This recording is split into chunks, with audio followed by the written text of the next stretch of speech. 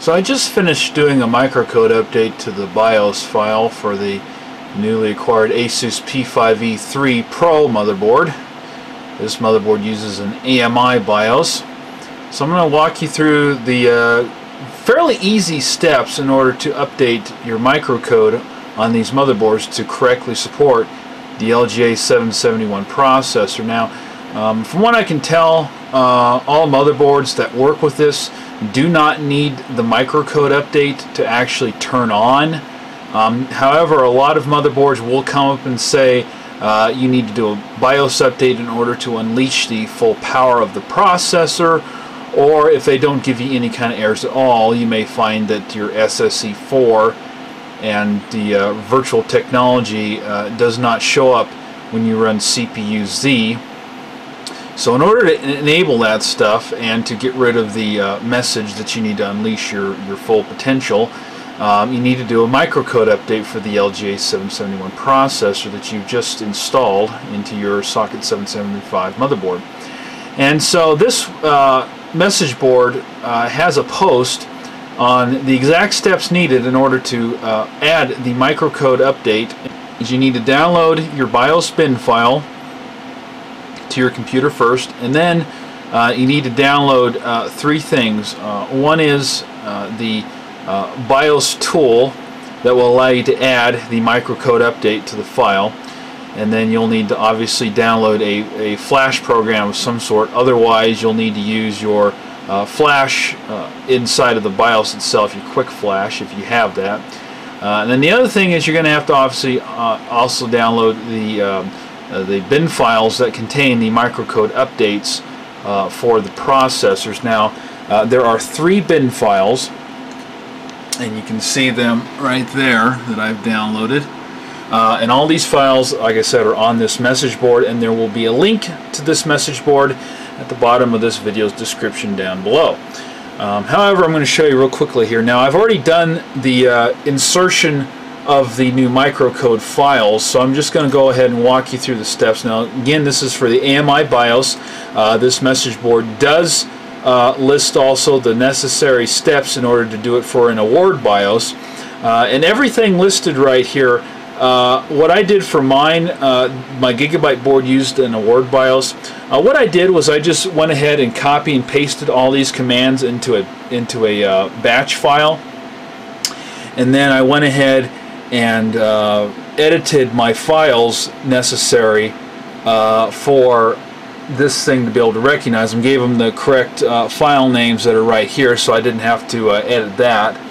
And then just ran, went ahead and ran the batch file and poof, came out the correct uh, award BIOS file that I needed in order to flash.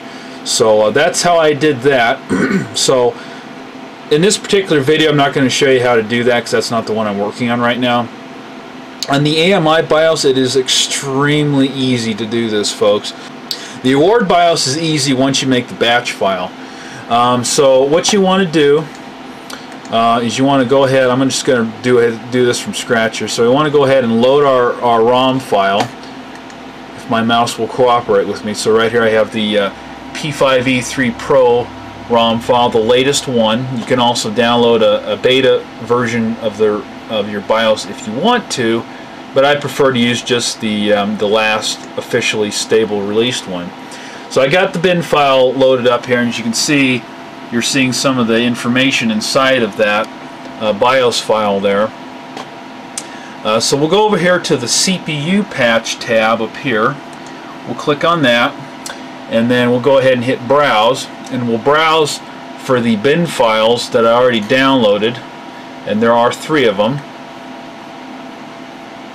so you can see them right here the CPU the ones that start with CPU right here. And of course because I have VLC installed on here it shows up as a VLC icon so uh, you just want to go ahead and do the first one and you will have to do each one of these one at a time and select that and do open apply and you're done. Now if you'll take a look at the bottom here, on this particular BIOS, uh, I had 31 lines of information here. Now I have 32. And on the on the message board itself, it has a picture here showing you the three codes that you should have once you're all said and done. So we're going to go ahead, we'll do the next one here. Select that one, open, apply.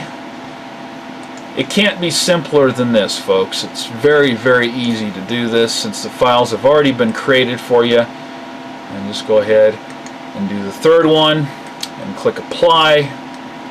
And now we have the three files necessary in order to correctly recognize our LJ771 chips. Now, um, this patch will recognize uh, all of the 5400 series as well as the 33X3 series, which is what I installed in this motherboard. So we'll just go ahead and save ROM. I'm going to save it as, so I still have the original one here. I'm just going to go ahead and select that, and we'll rename it to uh, something shorter than this. Um, we'll see P5E3 uh, mod, if I can type here with one hand, and see what I'm typing. Uh, mod and I'm just going to delete the little delete everything else here I guess because I know that that's the latest file. Just go ahead and save and we'll go ahead and close this. Now I have my bin file or my ROM file I should say to go ahead and flash into the BIOS uh, so I'm going to go ahead and shut the system down here and we'll go ahead no I'm, I'm on the wrong computer dang it I don't want to do that, so I'm going to go ahead and put this on my thumb drive, which I have right here, as I just dropped it. Put this on my thumb drive. This is already made to be a bootable drive, but it's not necessary because I'm just going to use the uh, easy flash of the BIOS itself and put that on the motherboard and we'll see what we've got going on there. So I'll show you here what the uh, BIOS error message is when you need to do a microcode update, one of them anyway that comes up quite frequently for people.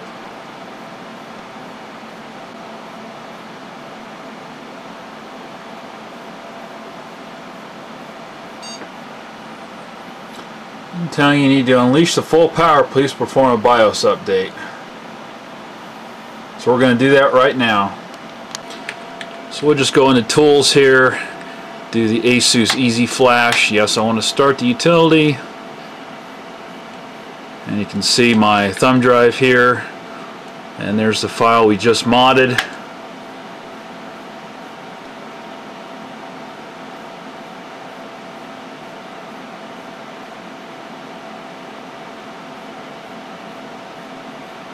Yes, I'm quite positive I want to flash the latest BIOS, which this motherboard already has, but uh, no it doesn't. It's one version behind actually, so that's cool.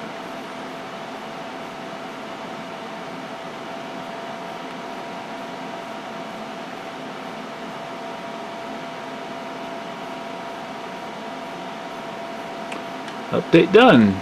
Cool. And if everything goes well, and it looks like it is,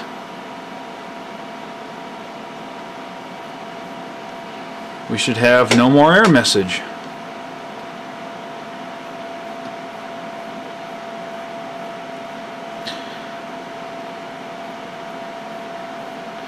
I've really got to disable this. Yep, took care of the error message. So we'll be back in just a second here. And here we are all booted up. As you can see it's recognizing the Xeon X3363 Yorkfield processor. And we have the SSE 4.1 and VMX recognized. Which actually it said that before. And it's kind of strange because CPU Z in Windows will actually only go up to SSE 3 until you do the microcode update. So there we go. Take care, everyone. Thanks for liking, commenting, subscribing, and sharing all my videos. And again, if you'd like to know more about this mod and keep up to date with the latest and greatest, check out the message board at the bottom of this video's description.